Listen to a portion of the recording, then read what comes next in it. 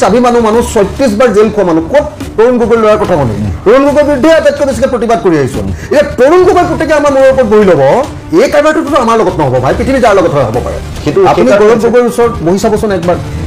গৌৰৱ গগৈৰ ওচৰত বহিলে আপোনাক নিজকে প্ৰজা প্ৰজা লাগিব গৌৰৱ গগৈৰ লগত আপুনি হেণ্ডশ্বেক এটা কৰি চাবচোন। মোৰ কিন্তু গৌৰৱ গগৈ লাগিছে। হেণ্ডশ্বেক মই কৰে যেনেকে হেণ্ডশ্বেক কৰে। আপোনালোক সাংবাদিক। সাংবাদিকবিলাকে গৌৰৱ গগৈলৈ এটা ফোন মাৰি চাবচোন ফোনটো ধৰে যদি আপোনাৰ এতিয়া প্ৰয়োজন আৰু মানে কংগ্ৰেছে একচুৱেলি দুহেজাৰ একৈছ চনত কংগ্ৰেছ দলৰ লগত কংগ্ৰেছ দলে আমাক প্ৰথম বিশ্বাসঘাতকতাটো কৰি দিলে। এক্সিডেণ্টলি দুৰ্ঘটনাক্ৰমেহে আমি একৈছত বেলেগকৈ ইলেকশ্যন খেলিলোঁ।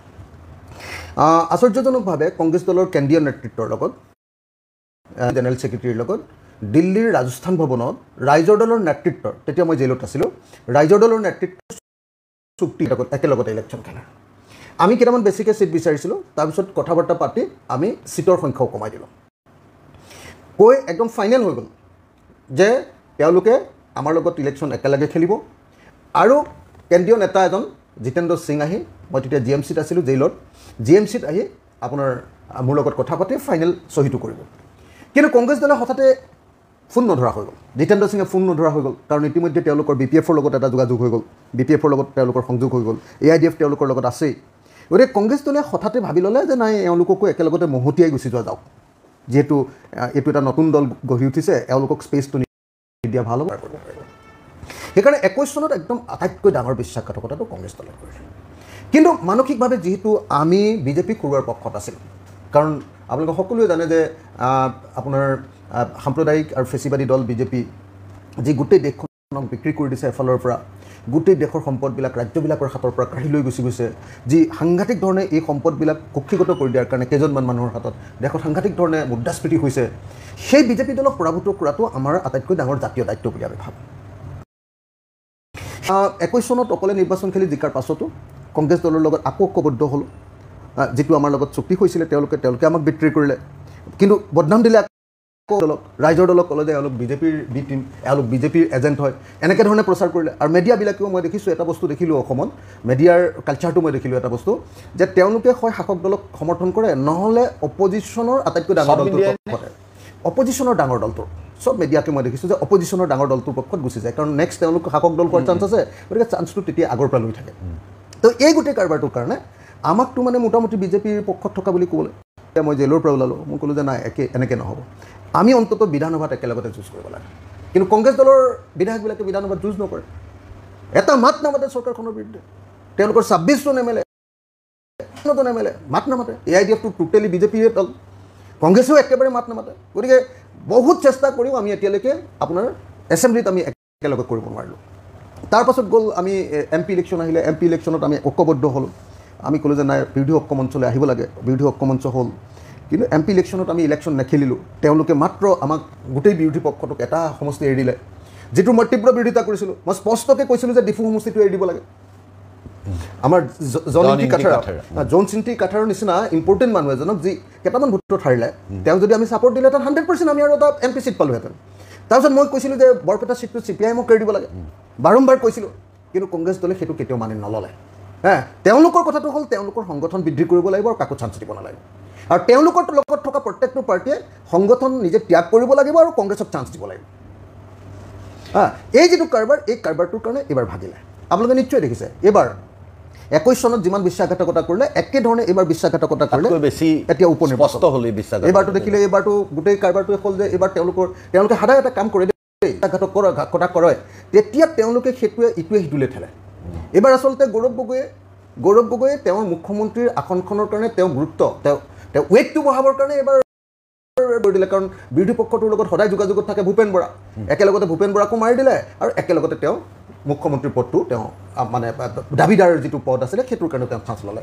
এতিয়া এই কংগ্ৰেছ দলৰ এই যিটো জাতীয় বিশ্বাসঘাতকতা ধাৰাবাহিকভাৱে যি বিশ্বাসঘাতকতা কৰে সেই বিশ্বাসঘাতকতাৰ কাৰণেহে আমি বিজেপিৰ নিচিনা এটা ডাঙৰ সাম্প্ৰদায়িক শক্তিৰ বিৰুদ্ধে ঐক্যবদ্ধ হ'ব পৰা নাই। কিন্তু ৰাইজে সদায় আমাৰ সৰু দলবিলাকক দুখ দিয়ে। এতিয়া কথা হ'ল কি যে এইবাৰ যিটো দেখা গৈছে যে হঠাৎ ভূপেন বৰাই বিহালী সমষ্টিটোত অন্ততঃ এৰি দিব লাগে বুলি মিত্ৰ গোষ্ঠীক তাৰ পক্ষত কৈছিল। আমাৰ আগতো কৈছিল বিভিন্ন সময়ত কৈছিল তাত তাত কৰা মিটিঙত কৈছিল। আৰু শেষত তেওঁ অসম সন্মিলিত মিত্ৰগোষ্ঠীৰ পৰা তেওঁ সভাপতি পদৰ পৰা পদত্যাগ কৰিলে। এই পদত্যাগে এনেকুৱা এটা তেওঁ যদিও ধাৰণা দিবলৈ চেষ্টা কৰিছে যে মোৰ যিটো স্থিতি এ পি চি চিৰ যিটো সিদ্ধান্ত সেইটোক নচাত কৰি দি এ আই চি চি এটা জাপি দিলে। গতিকে মই ইয়াত আৰু থকাৰ কথা কৰিছোঁ আৰু মই এই দায়িত্ব পালন কৰিব নোৱাৰিলোঁ মই পদত্যাগ কৰিছোঁ। মানে কংগ্ৰেছৰ এই নাটকখন সদায় এনেকুৱা সেই নাটকৰ কথাই মই ক'ব খুজিছোঁ। সদায় নাটকখন কাৰোবাৰ ওপৰত কাৰোবাৰ দুখ দি মই অলপ আগতে কৈছিলোঁ। কংগ্ৰেছত মানে এনেকুৱা ধৰণৰ নাটক এখন তৈয়াৰ কৰে। ক'ব খোজে যে কংগ্ৰেছটো বেয়া কংগ্ৰেছৰ আমুক মানুহটোহে বেয়া। হা এই যে এই কাৰবাৰটো কৰি কৰি কি কৰে ইজনে সিজনৰ বিৰুদ্ধে কয় সিজনে সিজনৰ বিৰুদ্ধে কয় সিজনে সিজনৰ বিৰুদ্ধে কয় আল্টিমেটলি কংগ্ৰেছে কিন্তু একেলগতে কেম্পেইন কৰিবলৈ যায় গতিকে এই এই কাৰবাৰটো কংগ্ৰেছৰ এই কাৰবাৰটোত আমি সহ্য নকৰোঁ। এটা কথা খাটাং যে এইবাৰ গৌৰৱ গগৈৰো চৰিত্ৰ আমি আচল চৰিত্ৰটো চিনি পালোঁ। গৌৰৱ গগৈ কি কৰিব খুজিছে? গৌৰৱ গগৈৰ চৰিত্ৰ কি? গৌৰৱ আমি বুজি পালোঁ। গতিকে এইবাৰ আমি কংগ্ৰেছৰ পৰা সাংঘাতিক ধৰণে সাৱধান আৰু এতিয়া আমি সিদ্ধান্ত লৈছোঁ যে আমি একেলগতে আমাৰ যিখিনি বিৰোধী ঐক্যমঞ্চৰ বাকীকেইটা দল আমি একেলগতে আগবাঢ়িম। এশ ছাব্বিছখন সমষ্টিত আমি এইবাৰ বিজেপি আৰু কংগ্ৰেছৰ বিৰুদ্ধে ঐক্যবদ্ধভাৱে যুঁজ দিম এতিয়া উপ নিৰ্বাচন আহি আছে তাৰপিছতে পঞ্চায়ত নিৰ্বাচন অনুষ্ঠিত হ'ব তাৰপিছত ছাব্বিছৰ বিধানসভা নিৰ্বাচন হ'ব। পঞ্চায়ত নিৰ্বাচনত বিহালী সমষ্টিত আপোনালোকৰ সমৰ্থিত প্ৰাৰ্থী আছে। বাকীকেইটা সমষ্টিত আপোনালোকৰ স্থিতি কি হ'ব?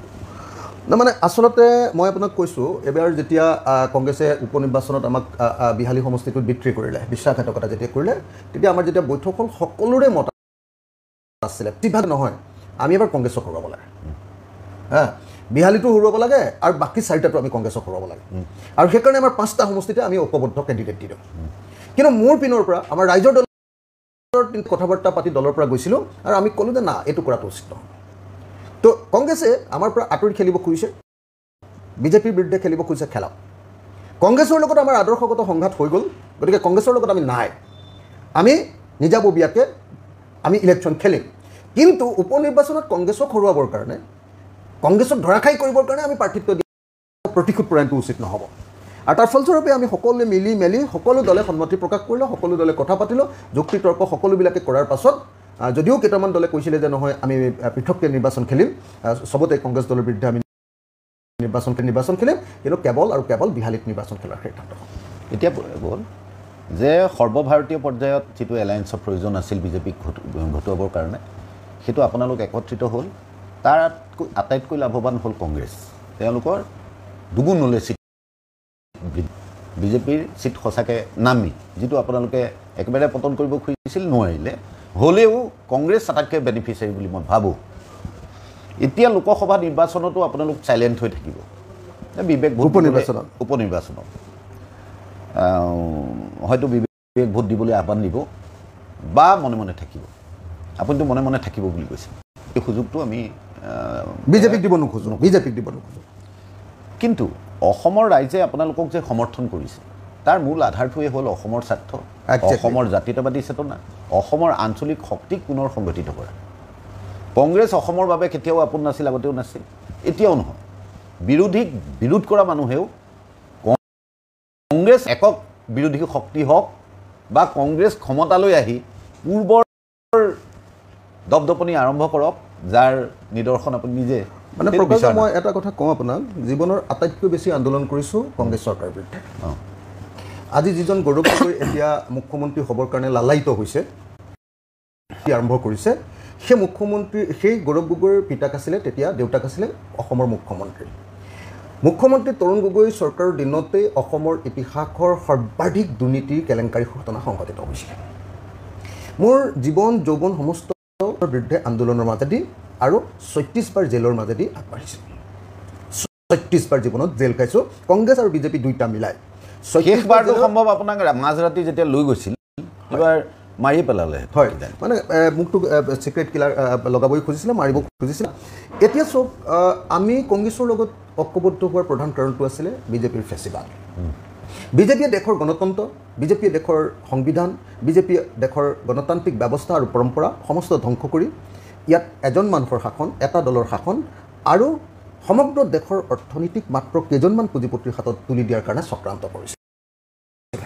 আজিৰ দিনটোতো সেই ফেচিবাদৰ কলীয়া ডাৱৰ ভাৰতৰ ইতিহাসৰ ভাৰতৰ ৰাজনীতিৰ পৰা সমাজৰ পৰা এতিয়াও আঁতৰি যোৱা নাই। আমি সকলোৱে জানো। মোৰতো সদায় ভয় হৈ থাকে। মই এজন অধ্যয়নশীল মানুহ হিচাপে পঢ়া শুনা কৰা মানুহ হিচাপে মই সদায় বুজি থাকোঁ এটা বস্তু যে যেতিয়া এটা ফেচিষ্ট শক্তিয়ে যেতিয়া তেওঁলোকৰ সংখ্যাগৰিষ্ঠতা থাকে শাসনত থাকে তেতিয়া তেওঁলোকে সদায় সাংবিধানিক উপায়েৰে মানে লোকসভা বা ৰাজ্যৰ জৰিয়তে তেওঁলোকে তেওঁলোকৰ ব্যৱস্থাটো কায়েম কৰিব খোজে আৰু যেতিয়া তেওঁলোক অলপ দুৰ্বল হয় এতিয়া অলপ দুৰ্বল হৈছে তেওঁলোকৰ শক্তি আগতকৈ নাই তেতিয়া তেওঁলোকে অসাংবিধানিক উপায়েৰে যেনেকৈ ইন্দিৰা গান্ধীয়ে কংগ্ৰেছে যেনেকৈ ঊনৈছশ। পঁয়সত্তৰৰ পৰা সাতসত্তৰলৈকে যেনেকৈ ইমাৰ্জেঞ্চি আনিছিলে তেনেকুৱা পদ্ধতিৰে তেওঁলোকে আকৌ শাসনলৈ আহে কিন্তু মই ভাবোঁ যে বিজেপিয়ে যদি এইটো কাম কৰিব খোজে আৰ এছ এছৰ সমস্ত সাংগঠনিক শক্তি সশস্ত্ৰ শক্তি বিভিন্ন ধৰণৰ হিন্দুত্ববাদী সংগঠনবিলাকৰ সশস্ত্ৰ আৰু অসশস্ত্ৰ শক্তি আহ, সৈন্যবাহিনীৰ মাজত আৰ এছ এছৰ সংগঠন পুলিচ আৰু চি আৰ পি এফৰ মাজত অৰ্ধসামৰিক বাহিনীৰ মাজত বিভিন্ন চৰকাৰী অনুষ্ঠান আৰু সাংবিধানিক প্ৰতিষ্ঠানবিলাকৰ মাজত তেওঁলোকৰ কব্জা ইয়াৰ মাজেদি এদিন হয়তো যিকোনো মুহূৰ্ততে আকৌ তেওঁলোকে ফেচিষ্ট ক্ষমতা আকৌ অসাংবিধানিকভাৱে যেনেকৈ পাকিস্তানত কৰে যেনেকৈ বাংলাদেশত হৈছে তেনেকুৱা ধৰণৰ ঘটনা ঘটাব পাৰে। তো এই ভয়ৰ কাৰণেহে কেৱল আৰু কেৱল দেশক বচোৱাৰ স্বাৰ্থত কেৱল আৰু কেৱল দেশক বচোৱাৰ স্বাৰ্থত দেশৰ কম শত্ৰু বিজেপিতকৈ কম শত্ৰু কংগ্ৰেছ দলৰ লগত আমি হৈছোঁ। বিজেপি কিন্তু এটা কথা খাটাং যে কংগ্ৰেছ নহয়। কংগ্ৰেছৰ দিনত আমি বহু অভিজ্ঞতাৰ সাক্ষী। আপুনি নিজে ক'লে যে ইমাৰ্জেঞ্চিৰ কথা। আপুনি কংগ্ৰেছৰ যিটো পৰিয়াল কেন্দ্ৰিক ৰাজনীতি যে সমগ্ৰ ভাৰত এটা পৰিয়ালৰ নিৰ্দেশনাত চলিব লাগিব। শেহতীয়াকৈ সেই বস্তুটো অসমলৈ শিপাই গৈছেহি। আজি কংগ্ৰেছ সেই গান্ধী পৰিয়ালৰ ঘনিষ্ঠ হোৱাৰ বাবেই গৌৰৱ গগৈ তেওঁৰ বাক উদ্যনশীলতা আৰু পাৰ্লিয়ামেণ্টত তেওঁৰ দুটামান স্পীচে মানুহক সন্মোহিত কৰিছে এইটো এটা বেলেগ কথা। কিন্তু কাম হিচাপে যদি চাবলৈ যোৱা যায় ইয়াৰ মাটি পানী সংস্কৃতি ইয়াৰ লগত গৌৰৱ গগৈৰ সম্পৰ্ক নাছিল। কিন্তু শাসক দলৰ বিৰোধী সাংসদ তাত বিচাৰিছিল। সেইবাবেই হয়তো গৌৰৱ গগৈ সমৰ্থন কৰিলে। এতিয়া গৌৰৱ গগৈ সাংসদ হৈ যোৱাৰ পিছত। পৰৱৰ্তী লক্ষ্য আগতে হয়তো তিনি চাৰিটা টাৰ্মৰ পিছত ভাবিছিল। এতিয়া প্ৰয়োজন হ'লে দেৱব্ৰত শইকীয়া সভাপতি হ'ব পাৰে আৰু গৌৰৱ গগৈ আহি থকা নিৰ্বাচনৰ মুখ্যমন্ত্ৰীৰ প্ৰজেক্টেড প্ৰাৰ্থী হ'ব পাৰে। ৰাহুল গান্ধীয়ে জৰিয়তে এই গোটেই বস্তুটো খাৰ পানী দিয়া যেন আমাৰ এটা ধাৰণা এটা হৈছে যিটোৱে গৌৰৱ গগৈক হঠাতে বিৰাট অহংকাৰী কৰি তুলিছে। মোৰ কথাটো হ'ল বিজেপিতকৈ অলপ শত্ৰু কংগ্ৰেছৰ প্ৰতি নমনীয় হৈ এই মহাশত্ৰুক প্ৰতিহত কৰাৰ লক্ষ্য এটা আপোনালোকৰ থাকিব সমানে কিন্তু আপোনালোকৰ এটা হেৰি থাকি স্থিতি থাকিব লাগিব আপোনালোক আঞ্চলিক শক্তি ইয়াত ঐক্যবদ্ধ মানে। মানে মানে মানে প্ৰকাশ দা যেতিয়া কংগ্ৰেছৰ লগত আমি আছিলোঁ ঐক্যবদ্ধ হৈ বিৰোধী ঐক্যমঞ্চ বা তাৰ পাছত অসমত যেতিয়া আমি আছিলোঁ তেতিয়াও মোৰ সদায় এটা কথা কওঁ যে গণতান্ত্ৰিকভাৱে প্ৰত্যেকটো ঘটনাৰ সিদ্ধান্ত গ্ৰহণ কৰিব লাগিব। মই বাৰম্বাৰ আমাৰ আঞ্চলিক দলসমূহক আৰু বাৰম্বাৰ মই অন্যান্য কংগ্ৰেছক বাদ দি বাকী দলবিলাকক সদায় এটা কথা কওঁ যে আজিৰ দিনটোত বিজেপিৰ লগত এ জে পি আৰু ইউ পি পি এল যেনেকৈ আছে চৰকাৰত কাইলৈ কংগ্ৰেছৰ চৰকাৰ হ'লে কিন্তু ৰাইজৰ দলক যদি তেনেকৈ ল'ম বুলি ভাবিছে এইটো মহামূৰ্খামি কৰা হৈছে। আজি মই সদায় কৈ থাক আমাৰ সহযোগী দলবিলাকক যে আজি যদি কংগ্ৰেছৰ ভুল সিদ্ধান্তৰ বিৰুদ্ধে আমি মাত মাতিব নোৱাৰোঁ আজি যেতিয়া ডিফু চিটটো তেওঁলোকে এৰি দিয়া নাই যেতিয়া তেওঁলোকে বৰপেটা চিটটো এৰি দিয়া নাই যেতিয়া তেওঁলোকে কেৱল আৰু কেৱল লুৰিণজ্যোতি গগৈৰ চিটটো এৰি দিছে তাৰপাছত যেতিয়া তেওঁলোকে উপ নিৰ্বাচনতো আমাক লাট মাৰিছে এই আটাইবিলাকৰ পাছত যদি আমি মাত মাতিব নোৱাৰোঁ তেতিয়াহ'লে চৰকাৰ যদি হয় চৰকাৰ যদি হয় তেতিয়াহ'লেতো আমি এ জে পি আৰু ইউ পি পি এলে হৈ যাম। আজি A G P U P P P এলে এটা আপুনি চাওক গোটেই জীৱন অসম গণ পৰিষদে বিদেশী বিৰুদ্ধে মাত মাতিলে। কিন্তু সংসদত যেতিয়া আইন আহিলে কাক তেওঁলোকে ভোট দি দিলে? চি এ এত তেওঁলোকে ভোট দি দিলে। বিদেশী আনিব লাগে বুলি তেওঁলোকক বাধ্য কৰাই দিলে। তেওঁলোকৰ স্থিতি বদলাই দিবলৈ বাধ্য কৰালে। কালি কংগ্ৰেছৰ লগত থাকি আমি আমাৰ স্থিতি সলাই নেকি? হ'ব লাগিব নাম্বাৰ ওৱান নাম্বাৰ টু আপুনি কৈছে যে আঞ্চলিক দলবিলাক ঐক্যবদ্ধ হ'ব লাগে। আঞ্চলিক দলবিলাক ঐক্যবদ্ধ কেৱল নহয়। মই ভাবোঁ যে অসমৰ আঞ্চলিক দলবিলাক একলগ হ'ব লাগে। আমাৰ ৰাইজৰ দলৰ কথা হ'ল আজিৰ দিনটোত অসমত যিমানবিলাক দল আৰু সংগঠন আছে আঞ্চলিক দল আৰু সংগঠন ইমানখিনি আঞ্চলিক দল আৰু সংগঠনক অসমীয়াৰ নিচিনা আৰু জাতি এটাই কেতিয়াও প্ৰতিপালিত কৰিব নোৱাৰে। সেইকাৰণে আজি অসম গণ পৰিষদ ৰাইজৰ দল আপোনাৰ কি কয় আপোনাৰ জাতীয় পৰিষদ। তাৰপিছত অন্যান্য জনগোষ্ঠীয় পাৰ্টীবিলাক যিমানবিলাক আছে এই আটাইকেইটা পাৰ্টি বিকশিত হোৱাটো এক এক- একলগ নহ'লে বিকশিত হোৱাটো অসম্ভৱ। ফ্ৰেগমেণ্টেড হৈ যাব। নেশ্যনেল পাৰ্টীবিলাকৰতো আপোনাৰ আগ্ৰাসনটো আছেই। অসম জাতীয় পৰিষদৰ প্ৰতি ৰাইজৰ দলে আমি আনুষ্ঠানিকভাৱে প্ৰস্তাৱ দিছিলোঁ যে কিয় এই দুয়োটা দল একলগ হ'ব নোৱাৰে। আহক আমি দুইটা দল একলগ হওঁ। আনকি কালি পৰহিৰ দিনটোত পৰহিৰ দিনটোত মই নিজে লুৰিণজ্যোতি গগৈক আমাৰ ঘৰলৈ মাতি আনিছোঁ। মাতি আনি আমি একেলগতে ভাত এসাঁজ খাইছোঁ। আৰু ভাত এসাঁজ খাই মই লুৰিণজ্যোতিক কৈছোঁ ঠিকে আছে আমি একলগ হৈ কাম কৰি আছোঁ খুব ভাল কথা হৈছে আমাৰ কম্বিনেশ্যনটো আগতকৈ ভাল হৈছে। কিন্তু লুৰিণ কি কাৰণে আমি আমাৰ দুইটা দল একলগ হ'ব নোৱাৰোঁ? মই কৈছোঁ যে আদৰ্শগত কথাটো আমাৰ ক'তো প্ৰগ্ৰেমেটিক কথাটো ক'তো আমাৰ ইস্তাহাৰত আমাৰ লক্ষ্য আমাৰ উদ্দেশ্যত ক'তোতো এনেকুৱা কোনো এটা শব্দ নাই যি দুটা পাৰ্টীৰ মাজত আমাৰ আদৰ্শগত দ্বন্দ্ব আছে। আমাৰতো ক'তো দ্বন্দ্ব নাই আদৰ্শগত। প্ৰগ্ৰেমেটিক যিবিলাক যিবিলাক প্ৰগ্ৰেম লৈছোঁ সেইবিলাকত ক'তো দ্বন্দ্ব নাই। অসম চুক্তি সম্পৰ্কে কি সমস্যা সম্পৰ্কত কোনো দ্বন্দ্ব নাই। অসমৰ জাতীয় প্ৰত্যেকটো ইছ্যুত আমাৰ দৃষ্টিভংগী একেই তেতিয়াহ'লে আমি কিয় একলগ হ'ব নোৱাৰোঁ? মই তেওঁক মাতি আনি ঘৰত তেওঁক মই কৈছোঁ লগত আছে চিত্ৰৰঞ্জন বসুমতাৰী। সন্মুখত বহি আছে। তো কথা- তেতিয়া তেওঁলোকে তেতিয়া যেতিয়া কৈছোঁ তেতিয়া কৈছে যে নাই আমি মানে এনেকেই থাকোঁ। আমি বেলেগ বেলেগকৈ শুই থাকোঁ এনেকৈ ক'লে। তেতিয়া মই লুৰিণজ্যোতি গগৈক কৈছোঁ যে লুৰিণ লুৰিণ মই আগতেও তোমাক তিনিবাৰ চাৰিবাৰ তোমাক মানে মই প্ৰস্তাৱ দিছোঁ। লুৰিণজ্যোতি গগৈক আগতেও প্ৰস্তাৱ দিছোঁ যে দৰকাৰ হ'লে। এই এই আঞ্চলিক দলটো সন্মিলিত আঞ্চলিক দলটোত লুৰিণজ্যোতি গগৈ সভাপতি হওক। আৰু যদি মই কিবা অসুবিধাত পেলাম হ'লে মই কেন্দ্ৰীয় কমিটিখনত নাথাকোঁ। মই সদস্য হৈ থাকিম। আৰু যদি প্ৰয়োজন হয় যদি মোৰ কাৰণে কিবা অসুবিধা হয় বুলি ভাবে মই সহযোগিতাৰ হাণ্ড্ৰেড পাৰ্চেণ্ট লিখিত প্ৰতিশ্ৰুতি দি দিম। যদি অসুবিধা হয় বুলি ভাবে মই এম এল এ চিটো নেখেলোঁ এম এল এটো এম এল এটো কণ্টেষ্ট নকৰোঁ। কিন্তু এই দুইটা অঞ্চলত নহয়। কি প্ৰব্লেম আছে? মই সুধিছোঁ। যেতিয়া এই কথা সুধিছোঁ তেওঁলোকৰ হাতত কোনো উত্তৰ নাই। একলগ হ'ব লাগে। হে কেৱল মই ভাবোঁ যে এই আমাৰ সৰু সুৰা ব্যক্তিগত যিটো আমাৰ থাকে আৰু চব। মানুহৰ কেৱল একলগ হোৱা নাই। ন সেইটোতো all party hills leaders conference আজি জনিংটি কাঠাৰ তাৰ নেতা শেহতীয়া নেতা হলিৰাম টেৰাঙহঁতে এটা সময়ত কৰিছিল। তে তেওঁলোকৰো থাকিব পাৰে তেওঁলোকো যিহেতু একত্ৰিত হ'ব লাগিব। মানে এটা সেইটো দুটা দুটা কনচেপ্ট। এটা হ'ল আঞ্চলিক ৰাজনৈতিক দল তাৰমানে গোটেই আমি অসমীয়া সকলো প্ৰতিনিধিত্ব কৰোঁ আৰু আনটো হ'ল এথনিক গ্ৰুপছবিলাকৰ আঞ্চলিক দল। যেনেকৈ ইউ পি পি এল যেনেকৈ বি পি এফ মানে ইউনাইটেড ফ্ৰণ্ট হ'ব পাৰে। কিন্তু আমি আঞ্চলিক দলকেইটা একলগ হোৱা দৰকাৰ। নহয় তাৰ প্ৰক্ৰিয়াটো আৰম্ভ কৰিবলৈ হ'লে প্ৰথমতে আঞ্চলিক দলৰ ঐক্যবদ্ধ হৈ এটা খুঁটি হ'ব লাগিব। হয়। এতিয়াও লোকসভা নিৰ্বাচন বিধানসভা নিৰ্বাচনলৈ প্ৰায় দুবছৰ ডেৰ বছৰ। ডেৰ বছৰ ডেৰ বছৰৰ মাজত পঞ্চায়ত চাৰি মাহৰ পিছত কিন্তু পঞ্চায়ত নিৰ্বাচন হ'ব। পঞ্চায়ত নিৰ্বাচনত এই আঞ্চলিক শক্তিটো ঐক্য মঞ্চ এটাৰ জৰিয়তে পঞ্চায়তবিলাকত য'ত মানে সাংগঠনিক শক্তি আছে খোপনি পুতি নিজৰ সাংগঠনিক শক্তি বৃদ্ধি কৰাৰ লগতে যিটো একত্ৰিত হোৱাৰ কথা কোৱা গৈছে সেইটোৰ ৰূপৰেখা তৈয়াৰ কৰিবলৈ সহজ হ'ব নে পোনপটীয়াভাৱে বিধানসভা নিৰ্বাচন সন্মুখত লোৱাটো সুবিধা হ'ব। মোৰ মতেদি যে এতিয়াই যদি আমি কংগ্ৰেছ এৰিছোঁ বুলি ধৰি লোৱা গৈছে যে আৰু কংগ্ৰেছক এৰি নল'লে ৰাইজৰ দল ওজাপ এই সকলো একদম সাংঘাতিক প্ৰব্লেম হৈছে। আমি সমষ্টিবিলাকত সোমাব নোৱাৰোঁ। আপুনি জানি আচৰিত হ'ব যে বোধহয় ইণ্ডিভিজুৱেলি যদি আপুনি চায় ৰকিবুল হুছেইন ডাঙৰীয়াৰ জয়ত লোকসভাত আমাৰ আপোনাৰ আমাৰ গৌৰৱ গগৈ ডাঙৰীয়াৰ জয়ত আমাৰ এটা সাংঘাতিক ধৰণৰ এটা ভূমিকা আছে। একদম হেৰি ভূমিকা মানে নেতৃত্বদায়ী ভূমিকা আছে। তাৰপাছত আপোনাৰ হেৰিয়াৰ জয়ত আপোনাৰ নগাঁৱৰ প্ৰদ্যুৎ বৰদলৈৰ জয়ত আমাৰ এটা ডাঙৰ ভূমিকা আছে। আনকি কৰিমগঞ্জতো আমি জিকাবলৈ গৈ আছিলোঁ। অলপ কিবা কাৰণত হাৰি গ'ল টেকনিকেল কাৰণত হা। তো এই এই গোটেইবিলাকত আমাৰ এটা ডাঙৰ ভূমিকা আছে। কিন্তু আশ্চৰ্যজনকভাৱে আমি তেওঁলোকৰ কাৰণে ইমান কৰাৰ পাছতো সদায় মই ধুবুৰীলৈ যাওঁ। এইবাৰ বানপানীৰ সময়ত ধুবুৰীলৈ যাওঁতে তেওঁলোকে আমাক বেয়া পাইছে। এনেকুৱা পৰিস্থিতি হৈছে যে এতিয়া মই তেওঁলোকৰ পৰা অনুমতি লৈহে অসমৰ বিভিন্ন। ঠাইলৈ যাব লাগে। সেইটোৱে এনেকুৱা পৰিস্থিতি এইটোতো সম্ভৱ নহয় ন? আৰু তেওঁলোকে আমাৰ সকলো ঠাইলৈ যাব। কিন্তু আমি যদি ক'ৰবাত সোমাব খোজো এই তোমালোকে আমাৰ ঠাইবিলাকত কিয় সোমাইছা বুলি কয়? সেইটো হ'ল তেওঁলোকে বি টি চি চুক্তিৰ পিছত বি পি এফৰ জৰিয়তে কংগ্ৰেছে যিটো ঠেলা পালে।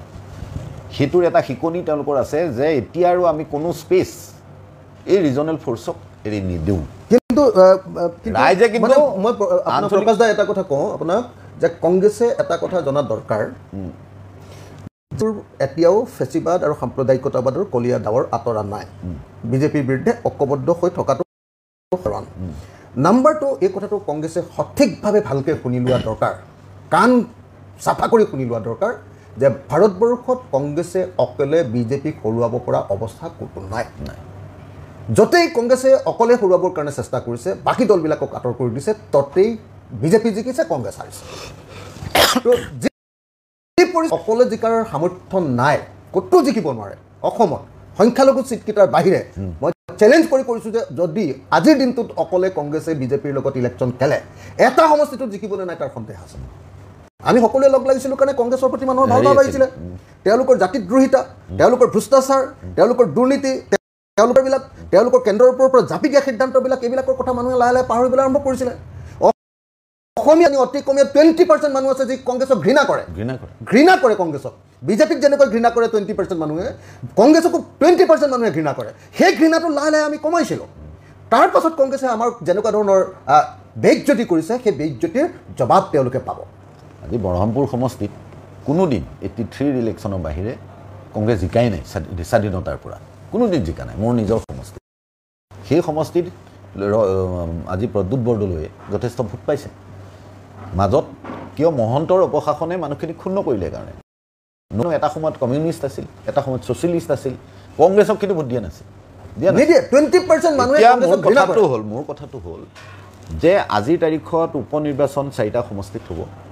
যি ৰকিবুল হুছেইনক একদম মৰি মৰ্যাদা দি আপুনি জিকাই আনিলে সেই ৰকিবুল হুছেইনৰ এতিয়া যিটো সৰ্বগ্ৰাসী চামগুৰি থ্ৰু যে তেওঁৰ দেউতাক মন্ত্ৰী আছিল তেওঁ ষোল্ল বছৰ মন্ত্ৰী থাকিলে পাঁচ বছৰ এম এল এ থাকিলে এতিয়া পুতেকক খেৰা কৰিছে আমি পৰিয়ালতন্ত্ৰ বিশ্বাস প্ৰথম কথা তৰুণ গগৈৰ ল'ৰাই মুখ্যমন্ত্ৰী হ'ব লাগিব। আৰু মুখ্যমন্ত্ৰী হ'বৰ কাৰণে তেওঁ অহংকাৰৰ সৈতে সকলোকে নচ্চাত কৰিব। আৰু তেওঁৰ কথাই পৃথিৱীত ফণীভূষণ চৌধুৰীয়ে দি পেলাই তো। সেইটো বঙাইগাঁৱত ফণীভূষণ চৌধুৰী ৰকিবুল হুছেইনৰ জেগাত ৰকিবুল হুছেইনৰ ল'ৰা। এই গোটেই কাৰবাৰটো এই পৰিয়ালতন্ত্ৰটো কেতিয়াও কেতিয়াও এটা গণতান্ত্ৰিক ৰাজনীতিৰ কাৰণে কেতিয়াও সুস্থ ৰাজনীতি নহয়। হ'ব নোৱাৰে এই ৰাজনীতি কেতিয়াও কোনেও সমৰ্থন কৰা উচিত নহয়। মই ভাবোঁ যে এই যিটো পৰিয়ালতন্ত্ৰৰ ৰাজনীতি সামন্তীয় যিটো কাৰবাৰ এই সামন্তীয় কাৰবাৰ যে গাঁওবুঢ়াৰ পিছত গাঁওবুঢ়া হ'ব নিজৰ পুতেক হা? সত্ৰাধিকাৰৰ পুতেক সত্ৰাধিকাৰ হ'ব এই যিটো সামন্তীয় কাৰবাৰ এই কাৰবাৰটো কোনেও পৃথিৱীত কেতিয়াও সহ্য কৰা উচিত নহয় গণতান্ত্ৰিক দেশ আৰু কংগ্ৰেছ ভাবোঁ যে কংগ্ৰেছত সেইটো যুগ যুগ ধৰি চলি আহিছে আৰু কেন্দ্ৰীয় মানে কেন্দ্ৰীভূত নেতৃত্বৰ বেলেগ কথাটো বাদ দিলোঁ মই আপোনাক এটা কথা কওঁ যে গৌৰৱ গগৈৰ আজিৰ যিটো অহংকাৰ। সেইটো আপুনি গৌৰৱ গগৈৰ ওচৰত বহি চাবচোন একবাৰ। গৌৰৱ গগৈৰ ওচৰত বহিলে আপোনাক নিজকে প্ৰজা প্ৰজা লাগিব। গৌৰৱ চেক এটা কৰি চাবচোন। মোৰ কিন্তু গৌৰৱ গগৈ কেনেকৈ প্ৰথম- কৰে যেনেকৈ হেণ্ডশ্বেক কৰে। আপোনালোক সাংবাদিক সাংবাদিকবিলাকে গৌৰৱ গগৈলৈ এটা ফোন মাৰি চাবচোন ফোনটো ধৰে যদি আপোনাৰ। আমাৰ ইয়াত। শ্ব'টো বহিছিল। নাই নধৰে। আপুনি এতিয়া দহটা ফোন মাৰক মোৰ মুখৰ আগত মাৰক নধৰে মই। কনফাৰ্ম মানে এই যিটো অহংকাৰ হৈছে সেই অহংকাৰটো লৈ আমাক যদি সেই অহংকাৰ আমাৰ ওপৰত ঢালিব খোজে আমি স্বাভি মানুহ মানুহ তৰুণ গগৈৰ ল'ৰাৰ কথা শুনিম। তৰুণ গগৈৰ বিৰুদ্ধে আটাইতকৈ বেছিকৈ প্ৰতিবাদ কৰি আহিছোঁ। এতিয়া তৰুণ গগৈ পুতেকে আমাৰ মূৰৰ ওপৰত বহি ল'ব এই কাৰবাৰটোতো আমাৰ লগত নহ'ব ভাই পৃথিৱী যাৰ লগত হ'ব পাৰে। এতিয়া মোৰ কথাটো হ'ল যে আপোনালোকে পঞ্চায়ত নিৰ্বাচনৰ পৰাই যাত্ৰাটো আৰম্ভ কৰিবনে নাই? মানে এটা খোপনি পুথি কিন্তু বিধানসভা নিৰ্বাচনৰ আগত নহ'লে বিধান পঞ্চায়ত নিৰ্বাচনৰ জৰিয়তে কংগ্ৰেছে আপোনালোকৰ পিঠিতে ভেজা দি বুদ্ধিষ্ঠ সংখ্যক এলেকাত সাংগঠনিক ভেটিটো মজবুত কৰি লোৱাৰ সুযোগ এটা পাব। এক মই বিজেপিয়ে পাব নাপাব মই সেইটো ক'বলৈ নাযাওঁ। মানুহে বাট চাই আছে আঞ্চলিক শক্তিবিলাকলৈ যে এওঁলোকৰ মানে আচল ৰাস্তাত আহক লাইনত আহক অগপৰো সুবুদ্ধি হওক বিজেপিৰ পৰা ওলাই আঞ্চলিক শক্তিক ঐক্যবদ্ধ কৰক। B P F U P P L একগোট হওক সেইটো এপছুৱে তেওঁলোকক বাৰে বাৰে কৈ আছে যে তোমালোক একগোট হোৱা। ভেজা দি থাকিবলৈ চেষ্টা নকৰিবা। এতিয়া আপোনালোকেও কাৰো গাত ভেজা নিদিয়াকৈ পঞ্চায়ত নিৰ্বাচনত যদি প্ৰথমতে নুফুটে, মানে আমি এনেকৈ সিদ্ধান্ত লৈছোঁ কালি আমাৰ জেনেৰেল কাউন্সিলৰ সভা আছিলে। কালি জেনেৰেল কাউন্সিলৰ সভাত আমি অসমৰ সমষ্টিবিলাকক পঞ্চায়ত নিৰ্বাচনক আমি গুৰুত্ব দিছোঁ কিন্তু সিমান গুৰুত্ব দিয়া নাই। আমাৰ দুহেজাৰ ছাব্বিছৰ নিৰ্বাচনটোত আমি কৰিব কাৰণে আমি অসমৰ এশ ছাব্বিছটা সমষ্টিক group A group B group চিত তৈয়াৰ কৰি লৈছোঁ। আৰু এতিয়া আমি গ্ৰুপ এত হাণ্ড্ৰেড পাৰ্চেণ্ট খেলিব পৰা সমষ্টি আমি জিকিব পৰা বা? ভালকৈ যুঁজ দিব পৰা সমষ্টি তেনেকুৱা আমাৰ কাৰণে আজিৰ দিনটোত ছাব্বিছটা সমষ্টি আমি সাতাইছটা সমষ্টি আমাৰ আমি হেৰি কৰিছোঁ মানে আমাৰ একদম সঠিক ৰূপত এইটো আমাৰ আছে। বিধানসভাৰ কাৰণে সাতাইছটা সমষ্টি গ্ৰুপ এ এই দুইটা মিলি এষষ্ঠিটা সমষ্টি হৈছে আমাৰ এষষ্ঠি ছিক্সটি ওৱানটা সমষ্টিত ছিক্সটি ওৱানটা সমষ্টিত আজিৰ দিনটোত আমি ভাল ফাইট দিব বিজেপি আৰু কংগ্ৰেছৰ বিৰুদ্ধে ভাল ফাইট ৰাইজৰ দলে দিবৰ কাৰণে আজিৰ দিনটোত আমি সমৰ্থবান আৰু বাকী গ্ৰুপ থ্ৰী সমষ্টিবিলাকত আমাৰ এতিয়া কাম চলি আছে। তো গতিকে এই মুহূৰ্তত আমি এশ ছাব্বিছটা সমষ্টিৰ কাৰণে প্ৰিপেৰেশ্যন চলাইছোঁ প্ৰকাশ দা। আমি এবাৰ ধৰি লৈছোঁ যে কংগ্ৰেছৰ লগত আমাৰ নহয় এতিয়া বা আমি এষষ্ঠিটা ঐক্যবদ্ধ সমষ্টিত। আপোনালোকে এষষ্ঠিটা সমষ্টিৰ পৰাই যিকেইটা আপোনালোকে ভাল ফাইট দিয়াৰ কাৰণে হেৰি তাক মজবুত কৰাৰ কাৰণে পঞ্চায়ত নিৰ্বাচনত আপোনালোকে প্ৰাৰ্থীৰ দাঁত দিব নেকি? মানে আমি পঞ্চায়ত নিৰ্বাচনটো এটা ইণ্টাৰিম নিৰ্বাচন এইবাৰ আমাৰ কাৰণে। কাৰণ আমি প্ৰথমবাৰৰ কাৰণে ছাব্বিছৰ ইলেকশ্যন খেলিম। তাৰ আগতে সভাপতিজনে জেলত আছিলোঁ। তো প্ৰথম আমাৰ ইলেকশ্যনটো হ'ব ছাব্বিছৰ ইলেকশ্যন গতিকে ছাব্বিছৰ ইলেকশ্যনৰ আগত আমি পঞ্চায়ত ইলেকশ্যন নাথাকোঁ। আমাৰ য'ত য'ত খেলিব নাই নাই ডেফিনেটলি খেলিম ডেফিনেটলি খেলিম। য'ত য'ত খেলিব খোজে চবতে খেলিম আমি। চবতে য'ত য'ত খেলিব খোজে। কিন্তু আমি এইবাৰ পঞ্চায়ত নিৰ্বাচনৰ সৰ্বোচ্চ ঢালি নিদিওঁ। এইবাৰ আমাৰ ফাৰ্ষ্ট প্ৰায়ৰিটি কোনোপধ্যে পঞ্চায়ত ইলেকশ্যন নহয়। ছাব্বিছৰ ইলেকশ্যনত এশ ছাব্বিছটা সমষ্টিত আমি এশ ছাব্বিছজন শক্তিশালী কেণ্ডিডেট মানে অকলে যুঁজিব। অকলে। ৰাইজৰ দলৰ কাৰণে এশ ছাব্বিছটা সমষ্টিৰ বিধানসভা নিৰ্বাচনত আঞ্চলিক কিবা মঞ্চ আমাৰ থাকিব আৰু গোটেই বিৰোধী বাকী কংগ্ৰেছক বাদ দি গোটেইবিলাকৰো ঐক্য মঞ্চ আছে। তেওঁলোকৰ লগত নিশ্চয় বুজাবুজি আমাৰ। আজিৰ দিনটোত ৰাইজৰ দলে এশ ছাব্বিছটা বিধানসভা সমষ্টিত ইলেকশ্যন খেলিবৰ কাৰণে আমি প্ৰস্তুতি চলাইছোঁ। এতিয়া এটা গুৰুত্বপূৰ্ণ প্ৰশ্ন হ'ল যে এতিয়া কংগ্ৰেছ ওলাই যোৱাৰ পিছত ভূপেন বৰাই যেতিয়া ৰিজাইন দিলে তেতিয়া অজিত কুমাৰ ভূঞা ডাঙৰীয়া অজিত দাক সভাপতিৰ দায়িত্ব ল'লে।